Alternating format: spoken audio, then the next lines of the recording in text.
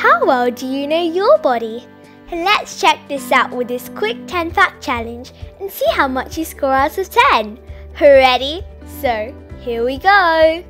The first question is Which is the largest internal organ in the human body? Heart, liver, or kidney?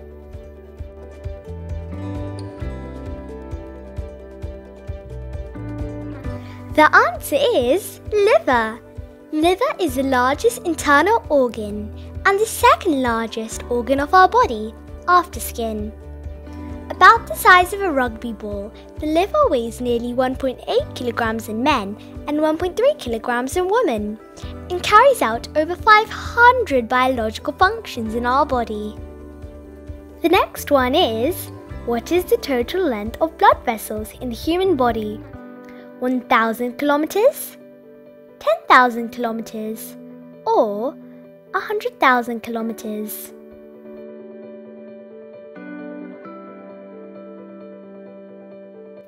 Answer is 100,000 kilometers.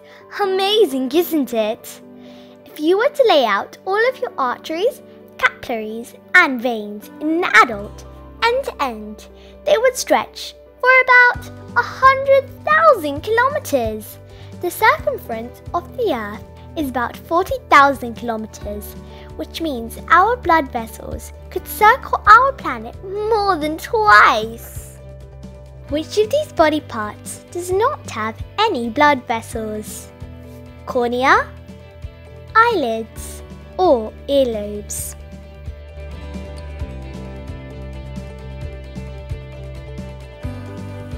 The answer is cornea.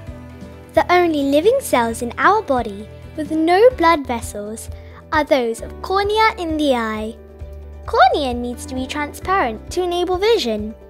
If blood flowed directly to the front parts of the eye, we wouldn't be able to see.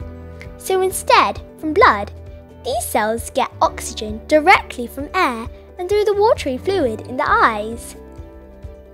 Next is how many bones are humans born with? 300, 206, or 180?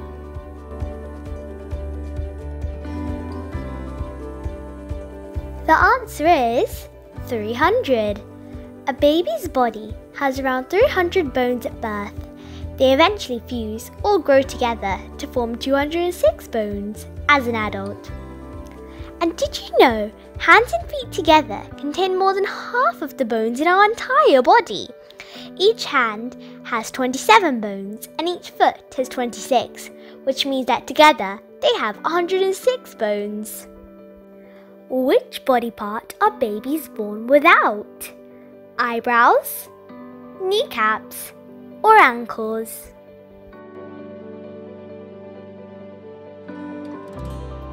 The answer is kneecaps. Did you also think eyebrows?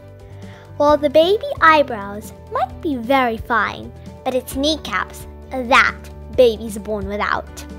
In place of bony kneecaps that the adults have, babies are born with a tough piece of cartilage. And between the ages of 2 to 6 years, this cartilage slowly turns into bone and becomes the kneecap. Moving on to question 6. How many pairs of ribs do we have? 8, 10 or 12?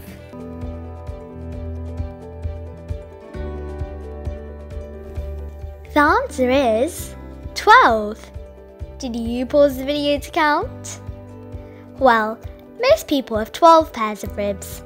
Ribs help us to breathe and offer protection to many of our delicate internal organs such as heart and lungs. But the rib bones themselves are quite fragile and can easily be broken in an accident or even by a violent sneeze. Next is which is the hardest part of the human body? Tooth enamel, femur, that is thigh bone, or the skull? The answer is tooth enamel. Now please, don't test it with a hammer. Tooth enamel is the hardest and most highly mineralized substance in the human body. femur, which is the thigh bone, is the longest and strongest bone in the human body. Moving on, how much saliva is produced by our mouth in a day? 100 to 200 milliliters, 200 to 500 milliliters, or 1 to 2 liters?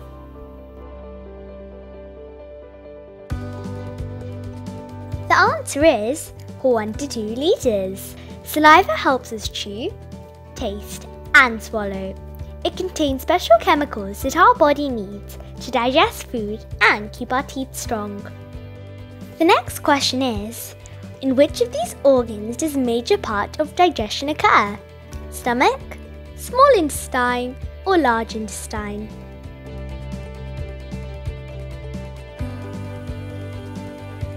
The answer is small intestine. A series of organs make up our digestive system. Out of them, stomach breaks down the food using digestive acids. Small intestine, which is actually about 20 feet long tube, is where the major digestion and absorption of nutrients occur. These nutrients go to the liver, and what's left passes into the large intestine to absorb any remaining nutrients and water from the liquid waste. The last question of the challenge is which of these is true? People can live with one kidney, people can live with one lung, or both of the above.